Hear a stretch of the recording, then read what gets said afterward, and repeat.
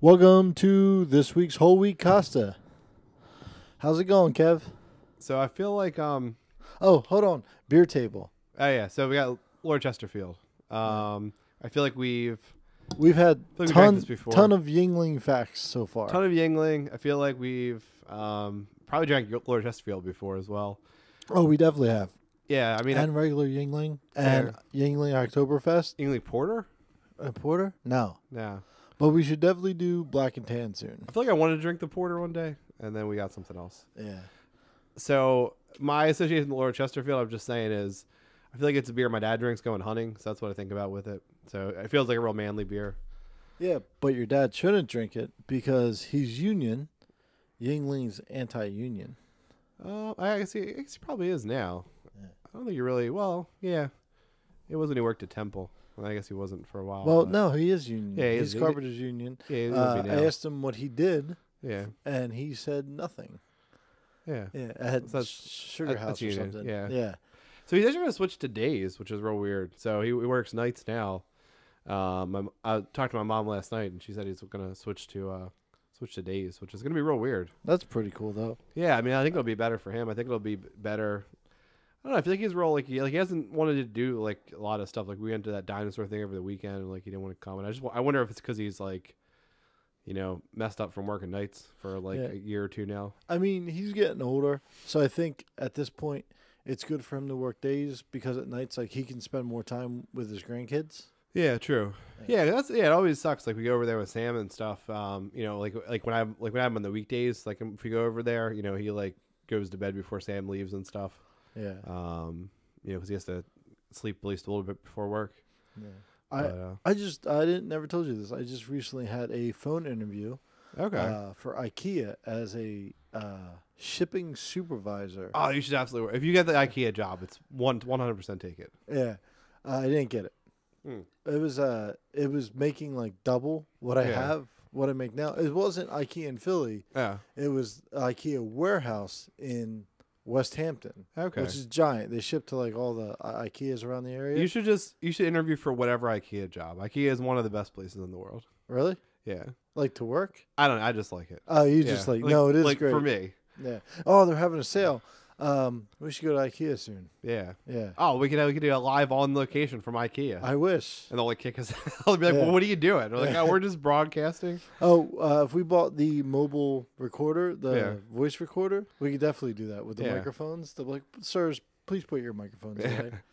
Um, Um, I, I think I talked about before that I feel like IKEA is like if you're have, ever having an argument or relationship, you go to IKEA. yeah. So because you just you, know you, get, you see stuff you want to buy, it's like oh, it's like oh look we you know oh we're gonna get that thing for the house. Like oh okay I guess it's you know like like you think about you think about, you think about the fact there is a future. So then it's like oh I guess it's nothing so bad. We're gonna be doing these things. Don't worry about it. All right. I wanted to talk about uh, movies this week. Oh wait before we do that All right. we have to talk about um so we have currently 17 episodes released, 17 ish. I didn't really count. n- 93 downloads on iTunes. Yeah. So that's so somebody's downloading this. Um, we don't really know who. Um, I don't I don't know how iTunes works. Um, I do I don't I don't I, I guess I have an iTunes account because I have like an iPhone for work, but I don't really understand it or how you download a podcast on iTunes. But I, but I I do but I, I do I do know YouTube and we upload these on YouTube as well. Oh, I think we're on Spotify as well. I have to double. I have to double check. I added us on Spotify. Also, no idea what Spotify is. Um, You're like you're like working with an old man. Like it took it took six months to get get you to get Venmo. yeah. Also, Kelly still owes me three twenty five. I'm real upset. She's never gonna get Venmo. You're never gonna get it, unless she has exact change one day. You're never gonna I'm, get it. I'm gonna text her too while you talk. You should you should come over with like you should come over with like a couple dollars worth of quarters one day, and like she'll probably have like a five, and then and then, and then you can get it. Um, so um, but yeah. Anyway, so if you're one of the obviously two or three people that have downloaded our podcast, um, you should go on YouTube on the YouTube channel. Since I don't know what the iTunes shit is, and comment that it's you that you've downloaded the stuff, so we can love you. Yeah, Um, we'll we'll shout you out. yeah, uh, with love. Right. So that's that's the plan. Yeah, Um, we're almost in real time uh, releasing these, so it's good. yeah. So Uh, good. Last So, time was my fault. so you should hear this this week. Right.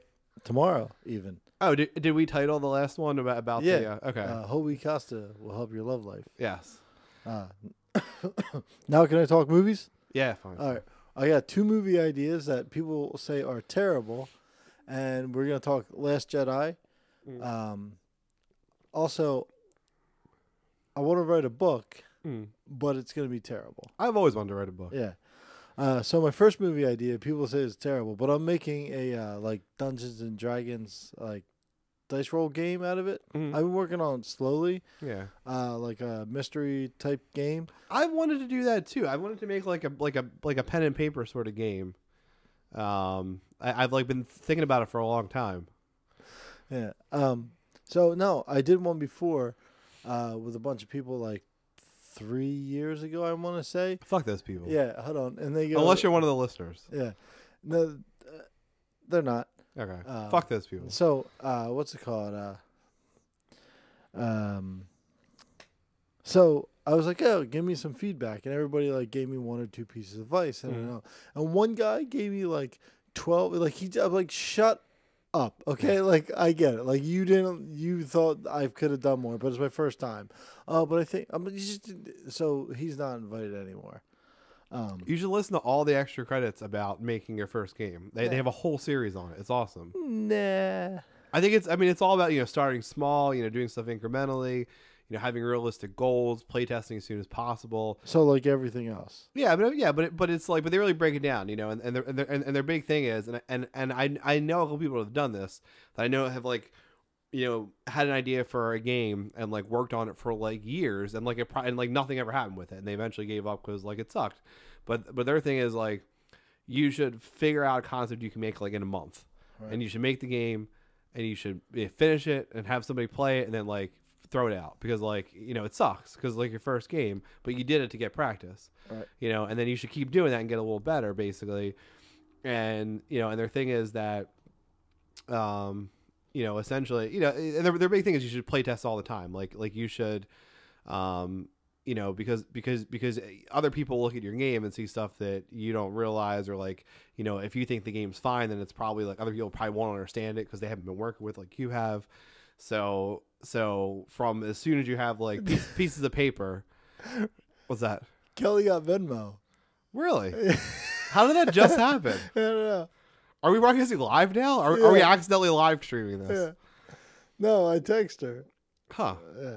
So, um, but anyway, but but yeah, the idea basically is to not be afraid of of your ideas, um, and that you know you should let other people rip them apart and criticize them and stuff. Like, you know, the the, the important thing is that you're you're you're making a game because you love games and you want to make you want to make a good game for other people, and you know it's it's not shameful if other people criticize it or other people have advice to give you. You, know, Right. you, you, you know you can't you can't protect your ego. No, it's fine. Like I'm I'm okay with feedback, but like a couple feedback, like be honest, but not too honest. Like you, you have to build and build, build and build and build. But here's the thing, Yeah. and I, and I heard a pretty like inspirational thing. Like I was listening to uh, this guy Rudy Sarzo. He's a bass player from like the '70s. Like he toured with uh, Ozzy Osbourne and uh, Quiet Riot and all this other stuff. Like he's a bass player, and he was on a podcast and he was talking about like it's kind of inspirational. And he's like, you should always try to be the best that you can be, Mm-hmm. because only one person is the best.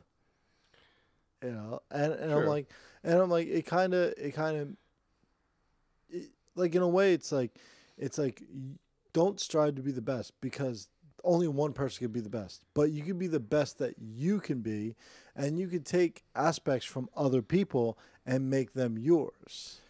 So the, the extra credits, you know, tie in, and and I have this I have this T-shirt from extra credits is, and it's from this whole it's from one of the, these episodes is it says on the shirt fail faster that was the title of the episode it says no idea is made fully formed your ideas can't be precious your ego can't need protecting every failure is a chance to get it right Right. No, I mean you fail you fail a hundred times. It might be at work once. So I'm not I'm not worried about it. It's like dating. Yeah. I failed probably eighty times before I actually met someone I, I liked. Now probably forty and then I liked and then she broke my heart and I and then another forty, and then we're good. yeah, Yeah, a lot, lot of fat girls. yeah. yeah. Un- unless none of our listeners are fat girls, and then we like We love fat fat- girls. Yeah, love no, them. but they know how to take pictures. Like, like if I think fat girls should be photographers. They know the right angles. yeah. Oh, that I'm just kidding. Uh, I want to apologize. I'm for all my remarks. I like. I didn't know if I should make a joke or like. uh, I I, I want to take back everything. Let's let's. Yeah. If we ever figure out how to edit, we'll we'll cut we'll cut this in editing. yeah, I can edit. I'm just not Yeah. gonna edit it. But Yeah. uh, uh, our th- our uh, four listeners. Oh, will- did you hear about um? And we'll get to the movie thing. Um, H H and M had a like a little kerfuffle this week. oh, with the black kid. Yeah. So so I I th- I thought it was funny. so I think I was thinking Jungle Gym. I think H and yeah, I think H and M's response was stupid. I think you know because so it was you know for for our many listeners if you don't know, you know essentially it was something like it was it was a T-shirt and advertisement, and it was like a little it was a black kid modeling it and it said like um, like like what like best monkey in the jungle or something like that. And I feel like, and I mean, I guess there's a chance that like it could have been someone at H and M like being an asshole and thinking they were like getting one over on like corporate and like trying to be like crudely funny. Um, but I mean, I feel like H and M's response should have been like, it, "It's it's a shirt about monkeys in the jungle. Kids like monkeys. Like, if you have a problem with it, then you're a racist." Like, I mean, I, feel- I feel like that should have been their response. Like, like I feel like to apologize and like take it back, Right. like just makes them look bad. I mean, I feel like they could have taken the higher ground and been like, "The shirt's not racist. If you if you have a problem with it, you're a racist." Right. Like this is a shirt that kids will like. That's why we made it. Although although I did see I did see like a thing making fun of it and it was like a little white kid and it was like best cracker in the box. and it was like uh it was like a Mexican kid and it was like best best taco in the stand or whatever. I don't know. Yeah. But but but yeah, I mean I don't know. I think uh I don't know. I, I just think H and M took a real wrong turn there. I, I think they could actually made. I think they could actually had a better anti-racist message Like- if, they, if they approached it differently. I I just um I like I thought it was funny. Like I legit thought it was cute. Like I didn't think about um like the kid that he was black or anything. I was I just thought Jungle Gym. Like you know, like everyone here, uh, being you, Yeah. uh, everyone has seen like kids on like uh leave and go play on. The, they they flip out and they, they all look like animals. They're like running a jungle gym. They're like, Daddy, look at me, and and I just thought it was cute. Sam literally acts like an animal all the time. yeah, I don't know. Yeah. If he's not a dinosaur, he's a werewolf. yeah. But yeah, I don't know. I just think um I don't know. I mean, I think I think it was a stupid shirt to make, Right. but once No, they made it, they had to stand by it. It's a don't ter- know. it's a terrible shirt to model on a black child. Yeah, I mean, I mean, monkey is historically a racist uh, That's racist term. I mean, I mean, you- I mean, you have to consider that stuff when you make stuff, but I don't know. I just thought they really they really screwed up the response Right. to it. And yeah, you're right. Like, I mean, maybe I, actually I've noticed this uh, Hmm. because maybe a couple years ago, Yeah, uh, people made this big deal about there was a mixed race couple, yeah, and then there was a there's a car commercial where the, someone made a, a bunch of people made a big stink about like uh, uh another mixed race couple, Hmm. and like I was like, wait, that lady's black, and they're like, yeah, she's black, and then like I I searched it for hours. yeah. She's not black one one bit. She's a uh, half Filipino model. yeah. And I was like, people are making a big deal about this. And then like you you you keep looking at commercials. Then once you're aware, uh, if you if you watch TV for a couple hours, like Hmm. network TV, and you make yourself aware of it, Yeah. a lot of commercials have mixed race couples. And yeah, I guess it's the like- widest it- appeal. yeah, and it it unless I was thinking about it, I've never noticed this commercial. Like Yeah. it's people make a big deal about something. Who who gives a shit? It's that, why does it bother you? It's, they're not hurting anyone. Well, that's the thing. I mean, I think uh, I guess on the one hand, if you think about it, it's like, well, from you know, if you're a marketer, um, you know, what's what do you do? You know, do you do you put a white couple? You know, do you just like try to be, you know, old timey status quo? Do you put like a black couple? Do you put a mixed race couple? If, if you have to put a mixed race couple in every commercial, are you pandering? If you put a white couple, are you racist because you don't like minorities? Like, I mean, I mean, basically, you can be screwed with anything. But in the end, None of that matters because if you're a marketer, then you have statistics on what's going to sell your product the best, and that's what you do. And they don't give a fuck about the race of the Yeah. people. They give a fuck about selling the most widgets. No, yeah. Here's the thing, and and I believe this 100. percent Anybody can argue with me. You can not like Donald Trump. You can not like big business. You can not like Wall Street. Nobody, including Donald Trump, cares about race. They're like Donald Trump's a racist. He does not give a shit right now. Yeah. You know why? He wants to appeal to as many people, the people that are going to vote for him, the people that are going to buy his stuff. He's going to appeal for him Yeah. if you hear him talk on Howard Stern, he didn't care, and now people are like he's racist. And it's like no, you heard him talk about people, and then they're like, well, he wasn't running to uh, black people in in one of his apartment buildings. And it's like, yeah, because he wanted a certain clientele there. Also, this was the 1970s. Yeah. Everyone was Yeah, fucking racist in yeah. the And- 1970s. and, you got to realize like that's racism and that's bad. yeah. But when people want to make money, they do what makes money. Yeah. And like people are like he, now he's racist. He doesn't care if you're white or black. You know what he cares about? Money, and that's green. That's the only color he Yeah. cares about. If you're spending, he doesn't care. You know what? When I was like ten years, so say like ten years ago, I mean, I would make way more like sexist jokes. You know, I, you know, was one of those people that would use the word like gay, like if it's oh it's gay, like it's bad. That's hilarious. Um, South Park had a great episode about that. they did. You know, I used- you know I used to be one of those people, and now I don't really do that much. And like I just I just think about it differently because I'm like ten years older, and like the world's a little different than it was like ten years ago. And I mean, and it's not. I'm not pretending to not think that way. I legitimately don't think that way anymore. Right. So to bring up something that happened 40 years ago, I, I don't know. I don't know. This was. And, and this is like a super. Don't worry, people still bring up the Eagles throwing snowballs. Yeah. I mean, this is like a super old topic now, and I feel like we talked about this in an early whole wheat, Costa. But I mean, this was a big reason why I had a lot of trouble, you know, I- why I could never support Hillary Clinton because, you know, again, I brought this up before, the people that liked her would bring up shit like that. Like, oh, Donald Trump was racist 40 years ago. Okay. I like if he, if he, and, and I, and I am, I am, I probably, if you track the timeline of every episode, I probably become less I, I probably started as a very mild Trump supporter, like in episode one of Whole Wheat Costa, and probably somewhere in the middle I got to like neutral, and now I'm like anti-Trump. But I will, st- but I still say I'm still anti-Hillary Clinton supporters, Yeah. no matter how anti-Trump I am, because of this bullshit. And this, and again, this is why he's in office. If you're a Hillary Clinton supporter, it's your fault that he's the president. It's just I say I'll say it again be, be, be- because because if, if someone hasn't done something racist in the last 35 years, he's not a racist. Yeah. Well, Oh, here's yeah. the thing. Uh, my buddy at work. I mean, he uh, is a racist, but that's not the Yeah, reason. yeah, but he doesn't care about like any big business. Yeah. uh, Even the people like that are making you know these biracial c- commercials, uh, they don't care. Whatever makes the most money. That's all. They, that's all they care about. That's all they that don't care. matters. They don't care at all. Um, but uh, my buddy, uh, he's Puerto Rican, and he was talking. Uh, uh, I Oh, talked to. oh, oh, we have a Puerto Rican friend. We can say all the Puerto Rican shit we want. No, no, good. no, no. good. Uh, a couple of them, and he's like, uh, people get mad at him because he doesn't support Donald Trump, Yeah. but he also didn't support Obama. He's Yeah. like, and people are like, well, we want Obama back. Why don't? He's like, why don't we just get a new candidate? There's no Puerto Rican yeah, president. Yeah, not even that. Why don't we just get a new candidate? Like, you don't just because you don't like Trump doesn't mean you liked Obama. You know, because some of his policies weren't that great.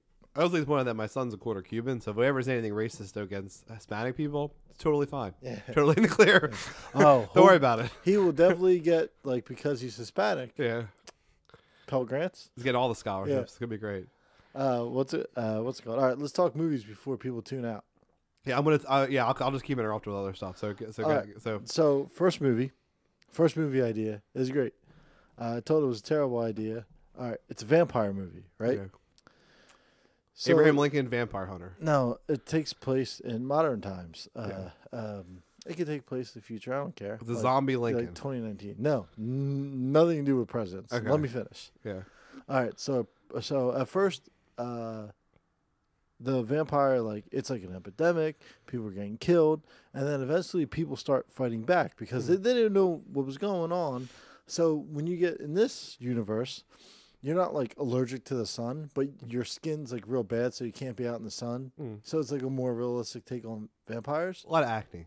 huh? A lot of acne. Uh no, even Real like bad third degree burns. Yeah. Yeah. So like, but here's the thing, you're immortal now. Yeah. But here, here's the thing. Uh, I guess you're not immortal, but whatever. You won't just die. Yeah. So here's the thing. You can still. You don't. You're not immune to diseases. So like when you get you, you get into the sun, you get like the third degree burns and everything. Yeah. You get like infections. Yeah. So and then they didn't get any superpowers like like superhuman strength or anything like Yeah. in a lot of vampire movies. So people are like fighting back. Mm. Like they start fighting back. Wait, so the- so they just live longer, but they get sunburnt really easily. Yeah, yeah, We'll So World War V. yeah. So the vampires they start feeding on like the elderly, uh, children who can't defend themselves, and then sickly. Can they eat So- regular food too, or no? Yeah, they're just vampires. They need blood though. Okay. Yeah, but they regular food eat- and blood. Yeah, Yeah. regular food and the hemoglobin, right? Yeah. And um, so they're uh, so they're like feeding on like the elderly and turning the elderly and cripples and all this other stuff. Yeah. So now like the vampire thing just kind of took care of itself because all the vampires are like old people and and cripples and everything like they're having a like you can defend yourself real easy Mm. but here's the, here's here's the kicker uh, because all the old people and cripples are like dying because people are killing the vampires. The world's so much better. Yeah, the, the economy is flourishing. Yeah. The world economy. Like Yeah. at first, it was real devastating because a lot of people were like turning to vampires and, and they're hunting the vampires. yeah. But they started like all the people that can't like defend themselves. Yeah. They just started attacking them, Yeah. and then like now they're hunting them. So like the world economy like fixes itself for like twenty years, yeah. and uh, We can get rid of handicap spots. Like that doesn't matter Yeah, yeah. Uh, so I was told that that's like a terrible idea because you're you're just making fun of like the handicapped and the elderly. Well, it depends. so and if you did it as like a satire, it could be really good. Yeah, that's kind of what it is. Um, but I just think it'd be like a really funny movie where like the vampires are just norm, like they just have normal human strength, but like they still get infections and like you cut off their arm, like they bleed out, but they don't die, and they're like, oh no, and so they're really weak, and then because they can't feed on the blood, they just die anyway. Like they can get be, shot in the uh, heart, but they're like, oh no, this isn't good. I feel like being a South Park episode. You mentioned South Park before. Yeah, and so like, they, yeah, so they just they're attacking like the elderly and cripples Yeah. and all this I, I feel like somebody who's really good at satire could could, could do that. yeah. Um, Yeah, so so all the people like all all the people that like really can't work for themselves and everything, mm. all the elderly like they just get wiped out like real quick, and it, like every every guy in South Philly be yeah, gone. it fixes Everybody's like sitting home. yeah, it fixes like the world economy. Yeah. Like this epidemic that started off real bad Mm. is fixed like within twenty. It fixes the world within like twenty years, and people realize like, oh shit, like we shouldn't be like fat losers. Like we should do something with our lives. Yeah. What's your what's your other movie idea? All right, here's the other movie. Now you got to realize, like, two this- it's two guys doing a podcast. yeah, you got to realize this. Um, Tom Hanks is perfect for this Yeah. because no one ever suspect Tom Hanks doing this. Like, Tom, re- Tom Hanks would play me. It's fine. no, no, no. It's not about a podcast at all.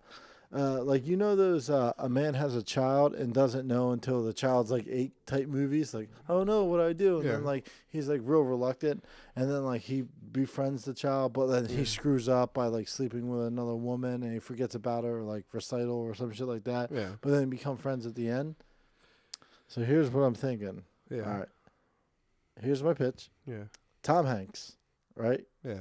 is at his retirement party where he gets a summons to appear at court, right? Mm. After a court order paternity test is proven that this lady he has a daughter from this lady Yeah. from a one night stand. Yeah. Oh, by the way, in court, he's like he screams something like, "She's just a whore that I didn't pay," you know, like real, real anti Tom Hanks, Yeah. right? And she like slaps him. Tom Hanks would never say that. yeah, I know. That's why he's perfect for the role. even thinking about it makes me uncomfortable. Yeah, they they both get like held for contempt of court and all this other stuff. All right, uh, so he he has his daughter from like a one night stand. It's proven and everything. Now he's got to pay child support, but he's like against paying child support. He's like Yeah. he's like I'm in my twilight of my life. I'm retired. I'm a rich. I'm I used to be an ex CEO. Yeah. All this other stuff, right? Uh, he doesn't want to pay for it, so he hires a hitman to fake a burglary and kill the child and the mother. This is real dark. yeah, but here's the plan. yeah. After that, he goes like during the whole burglary thing. Yeah. He goes there. He kills the burglar and uh, air quotes self defense, right? Yeah. And so like he would get caught for manslaughter, right? Yeah. Or like you know he'd be a hero. Like he went there, he tried, he captured this guy. Yeah. But here's what happens: the attacker is wounded by the mother, who's mortally wounded. The mother dies. Yeah. The attacker runs off. Yeah. Now he's there, and uh, he's a hero now Yeah. because like he made the he tells a lie that says he made the attacker run off, but Yeah. the mom got killed and everything. So now he has to take care of this daughter, Yeah. right? But here's what happens: Yeah. he has to find the hitman before he rats on him and gets him in trouble, Huh. right? A So of he- layers there. yeah, so eventually he finds the hitman. They get into an argument. Yeah. They kill each other on like through a fight or something like that. Yeah. And then the daughter has an ambiguous ending. What How- happens to the daughter? How how old's the daughter? I don't know, like four or five. Huh. I guess someone finds her or something like that. Yeah. What do you think about that? There's like twist after twist. Yeah. I mean, that could. That's. Yeah. I was told that's the worst movie idea they've ever heard. think so. I mean, um, I don't, I don't know, but I like it up to the ending. Um, It needs work. yeah. I mean, I don't know. So I'll I'll play the hitman. Don't worry about it. All right. So imagine that, like you market it as a movie, like Tom Hanks is like in his twilight of his life, and like he, you know, they show all the scenes where he's like laughing with his daughter and everything. But then Yeah. you go see the movie, Yeah. he's just a terrible Like, dude. what the fuck is that? Fucking Tom Hanks. that would be pretty awesome. Yeah, right. It'd be like a twist. I mean, it would, people would complain about it so much. Like yeah. they they complain about it. Like they'd show the court. Like you know, they'd show like in the in the trailer, they'd show like them in court. Be like, I don't want to be part of a life. And then they show like the the mom like the break in, and then him being like lauded as a hero, and then the, you know all this other stuff. They're like. Oh, he eventually learns to love her. Something bad happens to the mob, Yeah. but then when you go watch it, like, oh my god, Tom Hanks in this role is a piece of shit. Yeah.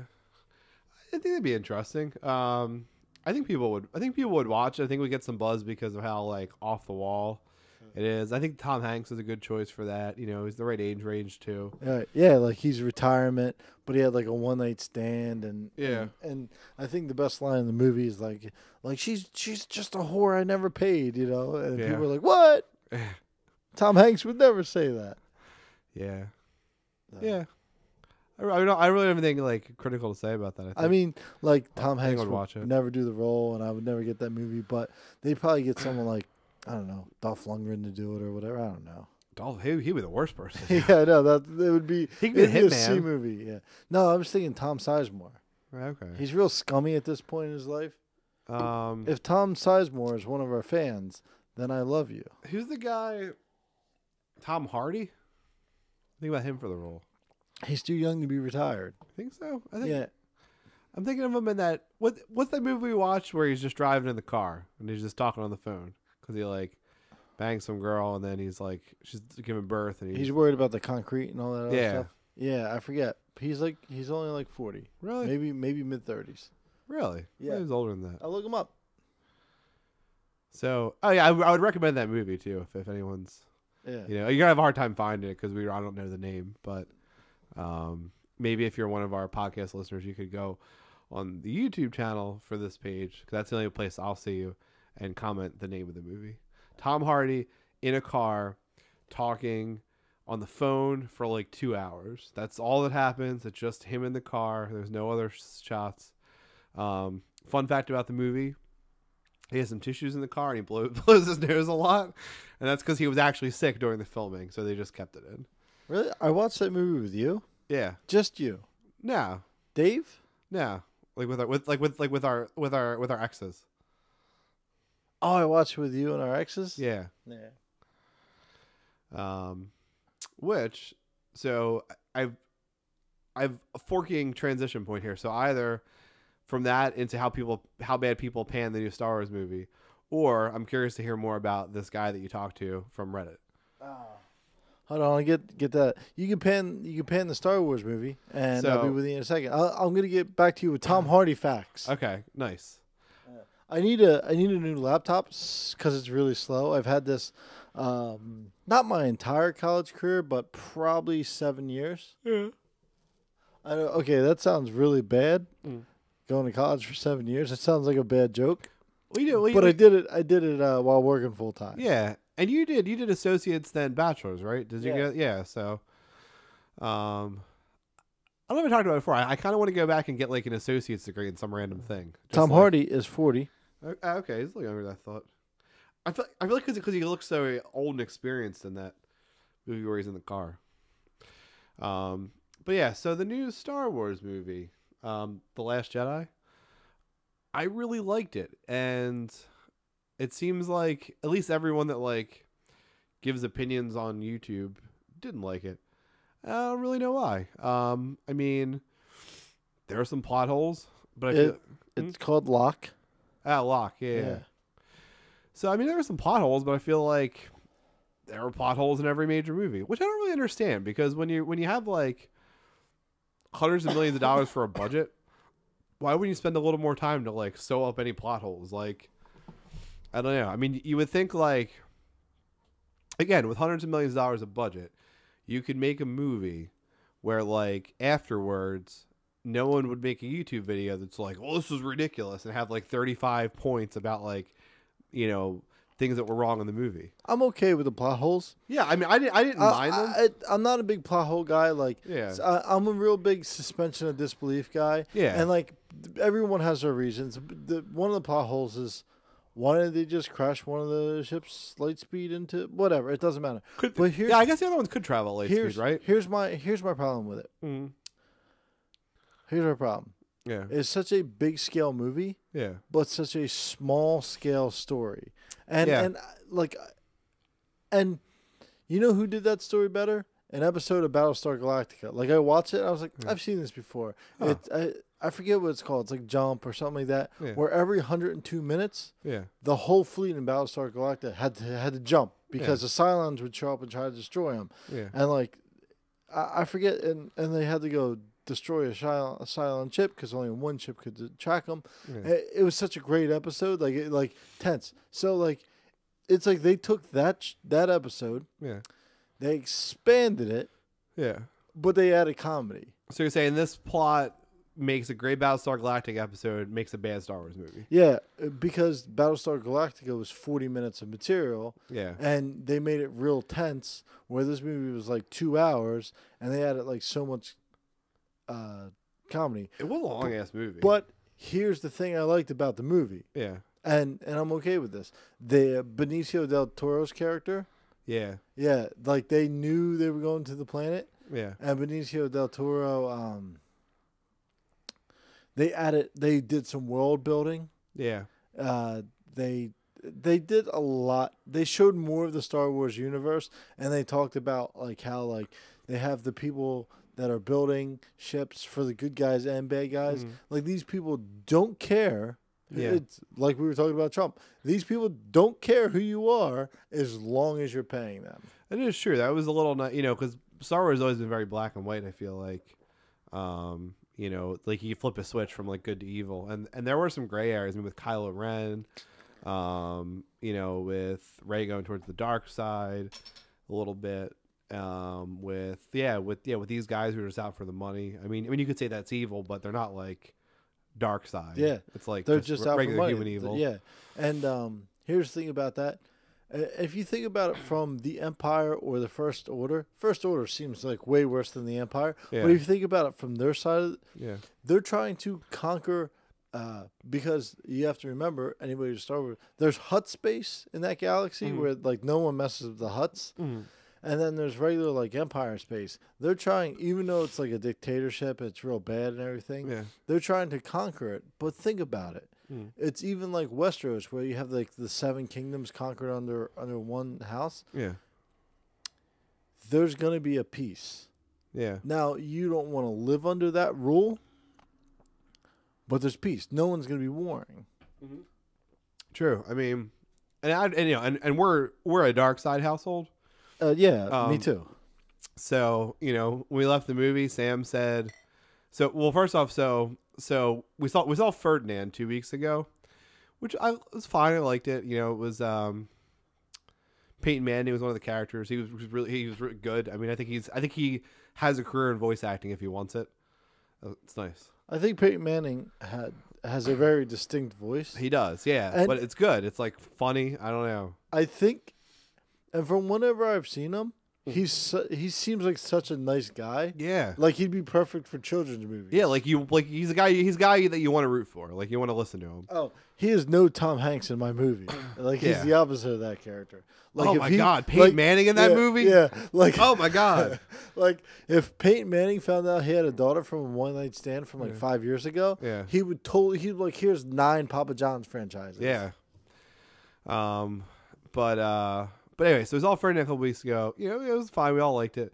Um, you know, we left the movie. Sam said, "I like that one," and then um, this when we left Star Wars, Sam said, "Daddy, I like that one." Allie, I like that one. Mommy, I like that one. Like he just kept, he just kept, he could tell, could tell, like everywhere we passed by, I like that one. So he's pretty excited about it, and he's and he said um, he liked he liked the fighting, which which I which which I clarified to he liked the lightsaber fighting, um, and he liked the guy the guy in the black. So he's he's a big Kylo Ren fan. Um, to be fair, we sort of stacked the deck a little bit because he has like a big Kylo Ren like action figure, but um, Oh, I just kidnapped Adam Driver. He's under my bed. yeah. so I I don't know. I'm I, I just think he's uh I- I think he, I, I think he's a good character. I don't know. I'm really curious what his intention was in the movie like when he when he asked Rey to join him. Like um like like like would like if if Rey accepted, I mean would they have ruled as the first order? Would he have changed the first order into something more neutral? I- you know, I, I don't know. At this point, like I I think he's so I don't know. Brainwashed isn't the best best word, Yeah. but he's so brainwashed. Like it would definitely be under the first order, because once he kills Snoke, Mm. Uh, spoilers. Once once he kills Snoke, Rewind and pretend you didn't hear yeah. once he kills Snoke, like he's like, I am the first order, Yeah. and like the like they're just trying to kill these rebels, which are like three or four hundred. Like essentially, the rebels are done. Like I don't care what you say, rebels are done. yeah. Like if that was the last Star Wars movie, I'd be fine with it. yeah. I mean, I, I don't know because I mean he's so conflicted. You know, I mean he has so much hate from, you know, from Luke trying to kill him. Um, you know, and that's it seems like that's where his hate stems from. You know that you know, and but but it, but it seems like, I mean, it seems like that moment really turned him. You know, so you would assume a, a big traumatic event like that that he could still be turned back. You know, I mean, obviously he still has a lot of, he's very conflicted. You know, he's very much like, he's very much like Anakin. Um, you know, which ironically because he really idolizes Darth Vader. You know, he really is very much like Anakin before he became Darth Vader, and he's just very conflicted. And and it's you know, and if you look back at the original movies, you know, if if if they took a different path with Anakin, it seems like they you know that they could have turned him more towards the light side, or you know, or, or you know, bring balance to the Force, whatever bullshit, you know. But uh, so I just really wonder, you know, if he if Rey joined him, and they had the you know they had influence over each other, um, you know, and I'm sure, you know, since Rey was friends with the rebels, like you wonder if he would have. I don't know if he would have continued to pursue destroying the rebels or, or what would have happened. I don't know. I just I just don't believe that you know his, his I didn't get take it that his offer was for Rey to join the First Order. Right. I thought if it was for them two to team up and just I mean still take over the galaxy, but in their name, not in the First Order's name. I mean that, that's the way I took it.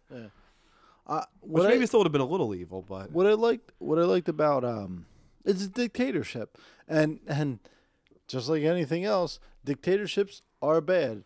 Proven time and time again. untrue. But hold on, Yeah. but there is peace. Yeah. You like when you when you're talking something on the galaxy side, or like I mentioned, even smaller, like the Seven Kingdoms, Mm. everyone is going to fight for every inch. And Yeah. then when you have other powerful factions coming in, but you have an empire, Yeah. that empire is there to protect you. When Yeah. your when your when your land gets destroyed by by um, gangs, marauders, Yeah. that kingdom is going to send their soldiers. Yeah. You know what you got to do? Swear fealty, uh, pay gold, you know, Yeah. or you know, pay credits or whatever you want. Yeah. You lose a lot of your freedoms, but you get a lot of protections Jorah, in Mor- in those universes. Jorah Mormont said the common people pray for rain in a summer that never ends, Yeah. and I think that's 100 percent true. Right. I don't know. That's that, that's like where that's where like that's like where I'm at at work right now. You know, I'm gonna write that quote up on the whiteboard at work because you know just wacky shit's going on up top. right. Just want to see patience. Right. But um, but uh, um, well, there's uh, I totally forgot what I was gonna say about it, but um, Like- sorry, I totally lost my train of like- thought. uh, I get what you're saying. Um, there's a lot of people out there that want to be rich and famous. I mean, ton. There's a lot of people that want to be rich. Uh, I know. I know three or four. I can name three or four people right now that are like, "Ah, I wish I was rich." I'm not a person that goes, "I wish I was rich." I want to be comfortable. I want to have a little bit of land, yeah, and I, you know, like I want to be able to pay my bills. Like, Mm. there's no. I don't need the stress. I've already had the stress of being poor. I don't need the stress of being rich. Yeah. You know, living up to everybody else's standards. I just want to be comfortable. yeah, And and that's where it is. Like I just want like the the rain and the summer that never ends. That's yeah. he just wants comfort. And that's Yeah. that's all I that's all I want. You know, and, and I think that's what a lot of people need. yeah. Uh not not want but need and I think, you know, that's that's what I live for. And um and I think if more people like that, the rich will get richer and, you know, more power, but not everyone's going to be a winner. So the dictatorship point that as I, that's, what I, that's what I was trying to think of before. I don't remember if this was like an extra history thing or if this was uh CG, so CGP Grey on YouTube did a thing about he did like a synopsis of like this this rules for rulers book. Um and sort of the idea was that a, a dictatorship isn't bad in a sense like I you know and, and I mean obviously you know a, a dictatorship under a good dictator is really good for the country and for the world. You know, you think so. You think about like pre World War One, like the generation before the generation of World War One, like in Europe, like had all these great leaders that like, you know, struck the concert of Europe and like kept peace and stuff. And then you had and then but then you know the problem with dictatorship is that it's unstable. You know, and we see this with like North Korea now, or we see it with like the leaders that were in Europe during during World War One. You know, it's it's it, it's this really you know there's so much power invested in one person that it's a really unstable institution. Um, you know, eh, you know if you sort of you know you roll the dice at each time there, there's a new dictator, um, versus you know what makes democracy better is that you know democracy is definitively worse than a dictatorship under a good dictator. you know, less stuff gets done. You know, less good things happen. Bureaucrats. Yeah, it takes longer to get things done. You know, there's there. It's hard to make big, sweeping, drastic changes that might be better for people, but there's stability. Yeah. You know, and and and the evidence is, you know, since World War II, you know, I mean, we've gone now e- eighty years almost without like another global conflict. You know, and and and in fact, we've gone eighty years without any major conflict between like major powers and that's a long time and that's because of democracies basically because you know it's even though democracy is like pretty bland and vanilla and like shit doesn't really get done like shit doesn't get a lot worse either you know and and and it's hard for two democracies to really fight each other because that means you got to get all these people on both sides to agree which just doesn't really happen Right. so it's just safer like Yeah. i don't know like democracy is like the vanilla sex of like leadership styles uh, like it's fine you know but you're not going to hurt yourself Yeah. I just I always if if when it comes to equality, people want to be equal. A lot of people want to be equal to the one percent, and it's not. It's not that you want to be equal to the one percent. It's like everyone should want to be equal to the point where like you always have food in your stomach. Your kids are always taken care of. They're well educated. You always have heat in the winter. You know, you Not this winter. You know, not, not this winter. It's impossible. Um, you know what I mean? Uh, you you can, um, like, say if you're married, uh, you can support your family on one job while the other person, man or woman, uh, takes care of the house and the kids, and maybe they can work a part time job just to stay busy. But like that, that's the equality everyone should strive for. Not not equality keeping up with the Joneses. It should be food in your stomach, heat in the winter, and one one job, one and a half jobs can take care of everything. You get you know your two or three vacations a year. Uh, you know you have two reliable cars. Uh, you know you don't need a TV in every room, but you have internet. So uh, you know the way that everything moves, your kids can do research, do their homework. You know, and Yeah. like eh, past that, what do you need? Yeah. You know, you go, you grab pizza on Fridays, and you know, go out to dinner once a week. Everybody has a good birthday. You have a half decent Christmas. Like that's what that's the equality everybody should dri- strive for. Yeah. Agreed. Yeah. I don't know. And and uh, if if a dictator could promise that, I'd vote for him. Yeah, I mean that's the thing, you know, and then but then they you just you just don't know what you're getting once that person dies or whatever. Yeah. You know? And and uh, I mean, but then here's here's the uh, bad part about it. Uh, our culture in America is uh, individualistic Yeah. instead of collective. So like everybody wants to be an individual, which is fine. It's great. You should be an individual. You should have your own own thoughts and and everything.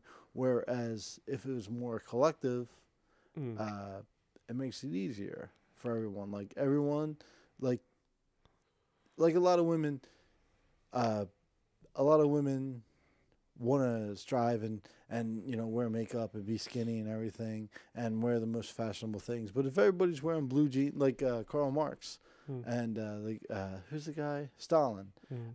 everyone's wearing blue jeans and red T-shirts on Tuesdays. Everyone's equal. You Yeah. know, it takes the individualism away, but everyone's equal. Yeah, yeah, and I mean I don't know. Um, feel like I'm really blanking out a lot during today's podcast. I don't really know why. I feel like you've had, I feel like you've had too many deep thoughts for me Uh, so- uh, today. Um, I don't know. I just I had, a lot of different thoughts of that. I don't even know what to what to say. On, you know, on, on the, the the immediate thing that made me think of was um, um, I don't know. I feel like I feel like I make fun of uh, the fact that like no males in South Philly work. I, I think I don't know if they came pre podcast or earlier in the podcast, and then that just makes me it comes think, up every podcast. What makes me think about that is that they're in fact un-American. Not not only they're bad people, but but the way you just portrayed it would make them actually un-American. yeah. So Um, oh, so that's what I was thinking about earlier, and and that's I think is what's been stuck in my head that keeps blocking things.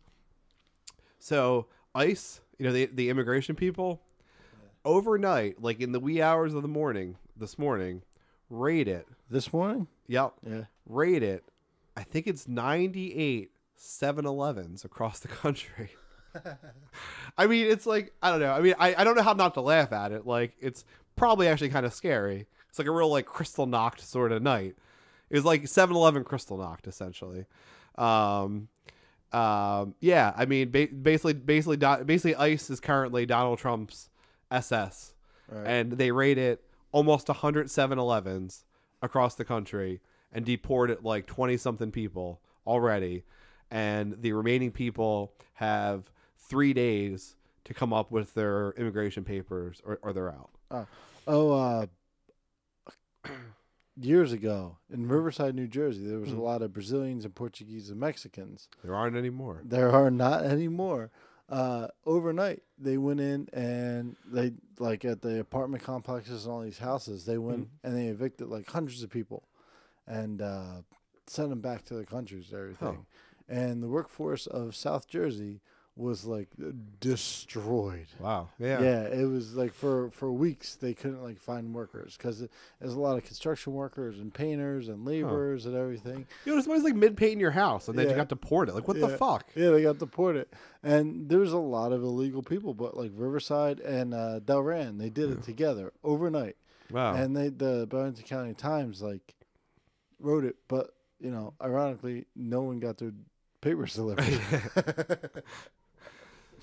yeah. I mean, I don't know. You know what they said. I mean, they there's no explanation why they targeted 7-Eleven specifically. They basically just said that they were a company. You know, they're I read anyway. You know, a nice official said, you know, they were a company that was known to employ a lot of illegal immigrants, and they wanted to send a strong message that like this will happen to other companies too if they continue like employing illegal immigrants. Ah, it's fucking stupid. Who Um, cares? But yeah, that's the thing. I, this is this has been my thing all along. Like, if you want to come to this country and you want to have a job, fucking do it. I mean, there again, there's so many people in this country that don't even want to work. so, so if you want to come here and you want to work, work.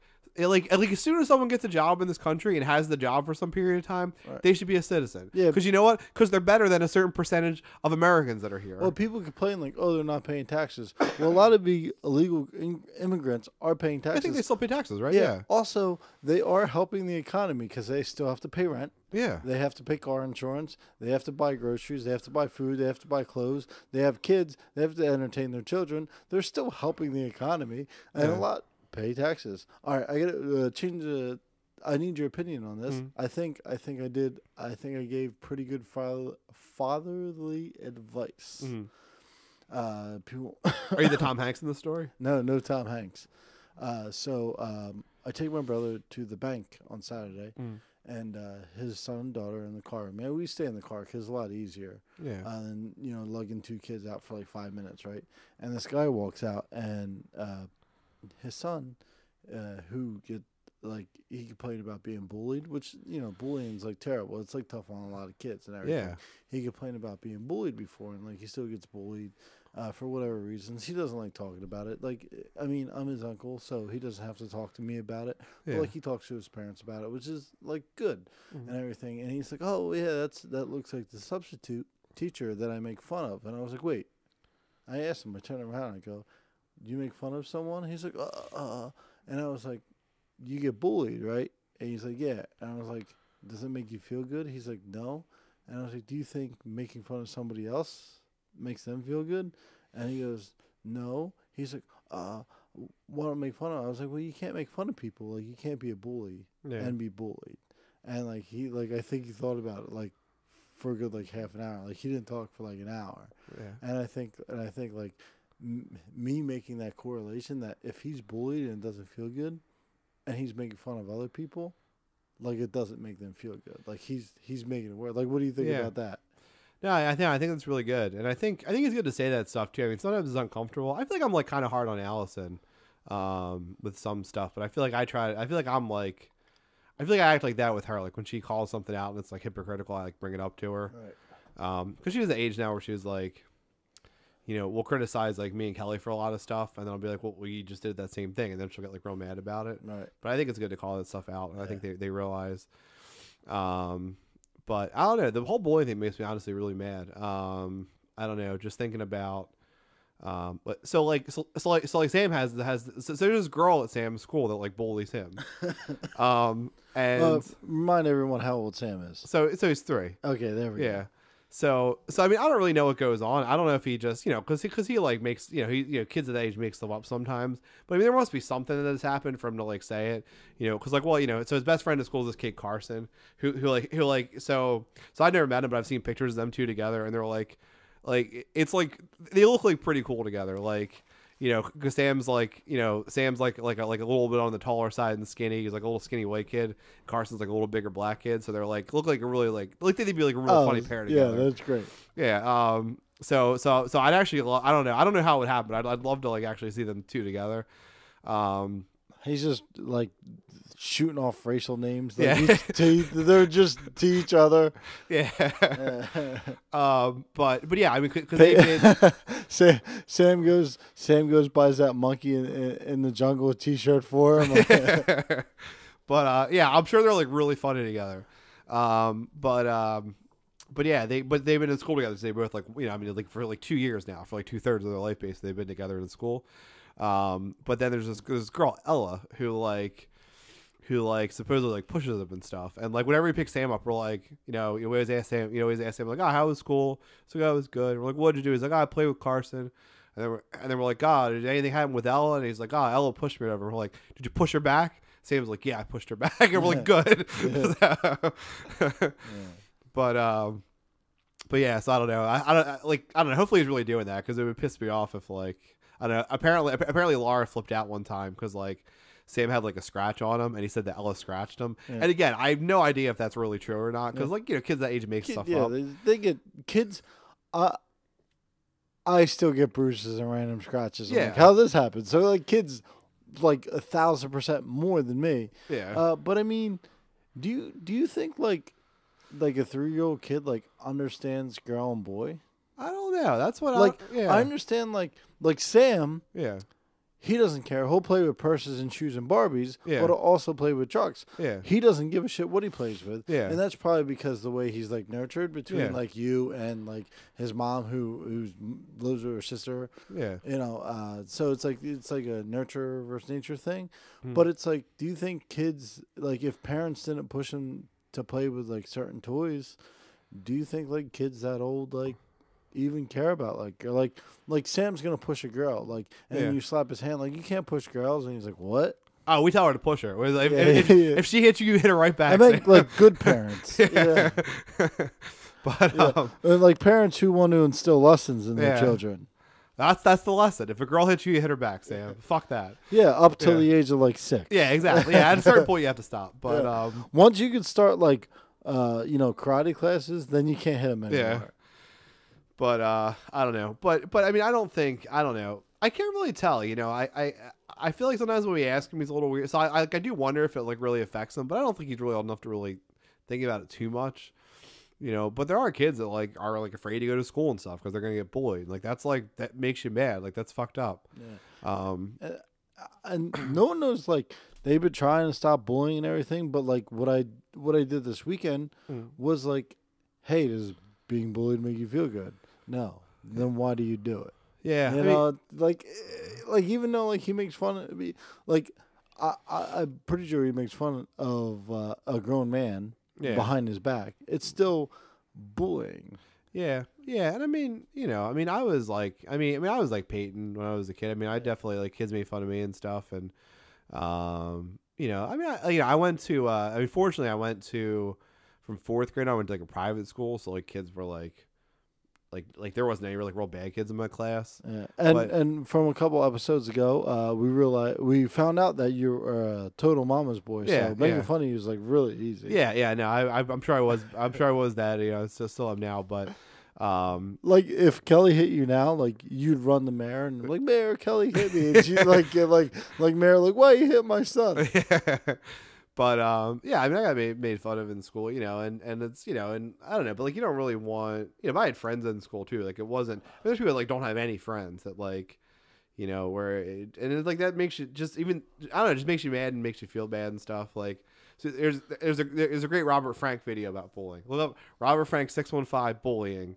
Um, he, he has a great video. I mean, his answer to everything is go to the gym, Yeah. but like it really is true though. My friend, he's a little darker naturally, if you know what I mean. Yeah, his I don't know. I really like he's like a real positive upbeat guy, even though he like screams into the microphone about some things. But uh but no, his bullying video is really good. He talks about you know, and again, I mean his advice was pretty simplistic, but I don't really disagree with it. You know, his he said, you know, someone wrote in and it was like, oh, you know, my son watched your videos. You know, he's like afraid to go to school because he gets bullied. And his advice is basically like, ah, it's probably some little fat fuck that's bullying him. You know, you know, you should start taking him to the gym every day. You know, and the the bigger he gets, the less he's going to get bullied, and eventually he's going to be ripped. And, and that other fat fuck's going to be going to the pool in a t-shirt, you know. But but but but like it's true though, you know, and a lot of and, and there's a lot of truth in it because that's what it is. It's like kids that like have low self esteem that bully other kids.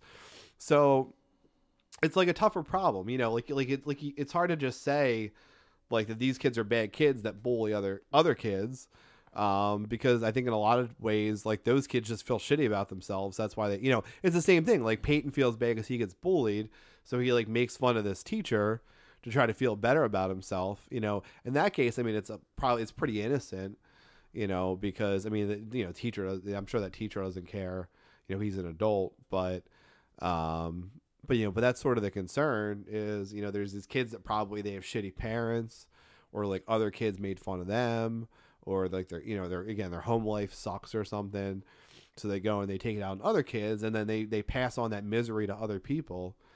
Um, so I don't know. Like I, I mean, the bullying thing is just harder, you know. And I mean, honestly, Robert Frank, if everyone went to the fucking gym and felt good about themselves, Yeah.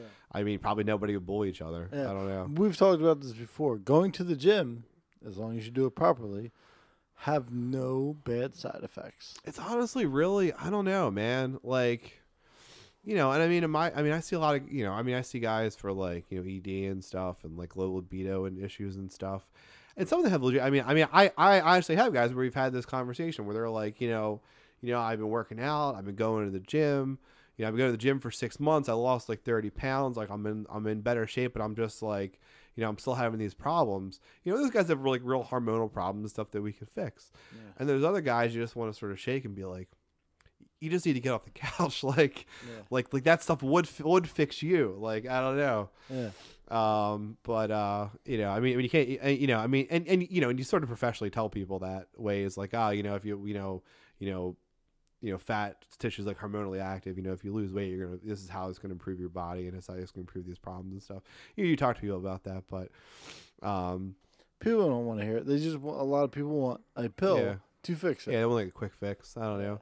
I mean, you know, we could do that too, but it's it's just Hard it's, work. It's it's, it's, it's like a temporary solution, you know. Um, you know, and I mean, I, and and again, I mean, you know, people are in all different situations in life, and um, you know, you, you can't really judge people, but you know, but I I do, I don't know, I now that, so I guess so my like health history, I mean, um, you know, I always like went up and down like weight wise. Um, you know, I was like probably overweight for probably eighty percent of my life to this point. Um, and you know, I'm like more of a stockier build person. You know, as if you've seen the Whole Wheat Costas and you don't know me, you know me from there. You know, I'm more of a stockier build person, so I've always had like extra weight, but it's been like somewhat muscle at least. Um, but about four or five years ago, um, when I was getting married for the first time, um, I lost a, like 30 pounds, but from dieting, and I actually got like like fairly skinny, you know, but I, I didn't work out a second, you know, no, no, it was just very strict diet control. And it was actually, it was kind of fun, like the challenge of it. And like, I kept that weight off for a couple of years, like even after I stopped dieting. So, I mean, a couple of years of dieting and then like probably a whole nother year, I kept it off. So maybe it's longer than four or five years ago now at this point. I don't even know. But I kept, you know, just because, you know, having such a strict diet for so long, it took a long time to gain the weight back because I, I didn't eat as much as I used to. But then eventually I gained it back after like a, a whole year of like not giving a shit anymore. But then I started going to the gym for like a year. And I, you know, ate like shit, but I went to the gym and I like lost weight and I was doing like half cardio, half like half like uh, you know, like weight training stuff. Um so then I was I was like in pretty decent shape. And then I had a, another year or basically off where I didn't eat good, eat well or go to the gym. So I gained like all the weight back. I was like almost as fat as I was at my fattest like six or seven years ago. Um, and then four or five months ago, I started going to the gym again, and I go like way harder than I did the year I went before. And I do it's like all I, I haven't done a second of cardio. It's like all weight training, like an hour, an hour and a half, four or five times a week.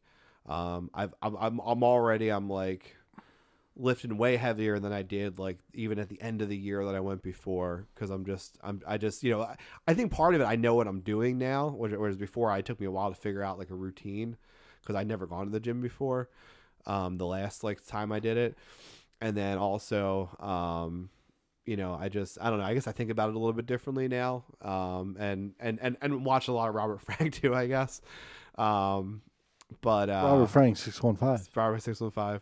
So, so I've definitely put on a lot more muscle. Like I think I think I probably have more upper body muscle than I did like after the year of going to the gym before. Um, and so I'm at the point now where you know I still have a ways to go. You know, I hopefully over the next few months I'll like lift heavier than I'm doing now. Um, you know, you, you can clearly see my stomach muscles, but there's a whole fucking big layer of fat on top of them. Yeah. So it's like far from uh like any sort of definition. Um, I my I still have I still have fat in my man boobs, but they're like flat now. They're not like boobs anymore. they're they're just they're they're just sort of flabby pecs now. Uh, Same uh, same thing happened to me. yeah. uh, before I got married because I think every guy wants to like look good. Mm. Like women, women obviously want to look good for their wedding, Yeah. and uh, like I was like, oh, I'll get down to like two fifteen. So I was two twenty one, Okay. And my ex, uh, she said, I'll take you to like any if you get down to two fifteen. No, sorry, if you get down to two eighteen, Yeah. I'll take you to any barbecue place you want, eat whatever you want because I love barbecue. So I think I got down to like two twenty one, and then my dad died. Yeah. And like as soon as like like I kicked open the the, the, the door yeah. and like I like ate all his food, so I went back up to like two thirty. yeah. And then like a month before my, he died, let's see October like three months before my wedding. yeah. So like I ate like like uh, fucking drank and ate for like two months, and then I went back to two thirty. yeah. And then like right before my wedding, like I like pretty much fasted for a month. Hmm. And I got down to like two eighteen. And if you step on my scale, there's a setting on there Yeah. for the weight I had to hit. And as soon as that thing beeps, Mm. um, like it was it was set for a weight. I think it was like two eighteen or two nineteen, Yeah. and it's set for that. When that beeps, I was gonna get all the barbecue I wanted, like paid for, Yeah. and uh, it's still set. So I think I think like if I get down to that, like I should email her and like call her on it, like hey, Yeah. Probably. yeah. So like that, I put that on, and then like I and then uh It's- it's got- that story what got a real sad turn there. no, I just just the same thing happened to me, and then I went and I gained like all this weight, and then I lost it again. Yeah. And then uh I don't know. I just started eating again and now like I'm back up to like 243. Yeah. So I got to get back down to 215. Yeah. I mean the problem so the problem with me is I liked going to the gym and then just my routine changed. You know, because at the time I was I was basically I was in exile. That was my like year in exile. And um and um so I mean I, I really had no place to be. So, you know, so I would you know, I was at my grandmom's house and like at Kelly's parents' house and stuff. So, you know, no place I really could be all the time. So I would just go to the gym because I just needed something to do. Um, and I really wasn't doing anything else anyway. But I started to like it. But then once I, basically, as soon as I moved back into my own house, is when I stopped going before because then I like my routine totally changed and like I wanted to be home and I had like stuff to do. Um, but then what ended up sort of a, it's sort of the way it evolved that I started going back was well one my sleep apnea came back because I have sleep apnea um, and from gaining the weight it came back. So I so I'm using the fucking CPAP machine again and stuff. Which which if you're one of our three listeners and you have sleep apnea though, like go get tested and use it because you'll feel a thousand times better. But like it's frustrating to use it for a while and then not have to use it for a couple of years and then have to use it again. It was like pretty big defeat. That's one of the things that pushed me over. Um, but uh, but then you know essentially the way it evolved was you know I would um, you know, we'd come home, you know, hang out for a little while, and then, you know, Kelly would put Allie to bed, and then, um, you know, and I would like, you know, play stuff on the computer and, and all, and then, um, you know, and and and and sort of and sort of my nights got later and later doing that. So then that's that's where I found the gym time because I'm like, well, I mean, I'm essentially wasting that time now anyway. So why don't I just go to the gym? During that time period. So I go really late, you know, but that's how I fit it in my schedule now. At the time I was just by myself doing shit on the computer anyway. Now I go to the gym instead. So it's like more more productive, you know, use of my time and I feel a lot better. And yeah, I was saying to JD before we started too. I would say, you know, if you put it like on a, a Madden rating, you know, I'm at like a juiciness of like in the 20s somewhere. You know, like I'm still far from like looking really good, but even like at this, like you feel like, like you feel like people You interact feel with you differently. you feel better. Yeah, You more confidence. Uh, real quick before we wrap up, yeah, uh, Kelly yeah. got Venmo because she she texted me back. Like I felt bad, like I was she Venmoed me, and I Mhm. felt bad. Like I'm, I'm like I'm not petty for three twenty five. yeah. Uh, Every dollar counts. yeah, because she uh, uh, she always owed Claire Yeah. and never had money. Yeah. What was the thing? I yeah, I used to have to I used to have to I, I used to send so, so Claire's on Wells Fargo too, so I used to send her through the through the bank. I used to send her the stuff. I guess Claire watches Allison. Uh yeah, so I didn't know we were paying yeah, uh, well over the summer. Yeah, I don't know anything recently, but um yeah, she watched her for at least like two thirds of the summer probably. So we so we paid her for that, you know. Um she like watched her a few days when uh when she was you know over the Christmas break. But I don't I don't think we paid her anything for that because it was just like a couple days here and there. But I don't know. I mean, you should you should pay. her. We probably should. yeah. But that's- That's this week's whole wheat Costa. Um, thanks uh, thanks for downloading our uh, episodes. come to YouTube so we can love you. Yeah, come to YouTube so we can love you. No, stop.